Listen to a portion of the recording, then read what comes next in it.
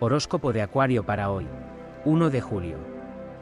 Las dificultades que Acuario viene superando en el trabajo empezarán a dar sus frutos, esto le incitará a seguir sus objetivos profesionales más ambiciosos. La determinación de Acuario serán claves para que surja ese cambio que busca en el año.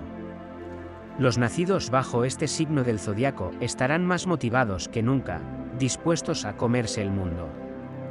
La oscilación de los astros jugará a favor de Acuario, lo que le dará la posibilidad de solucionar hoy esas diferencias que le han distanciado de su pareja.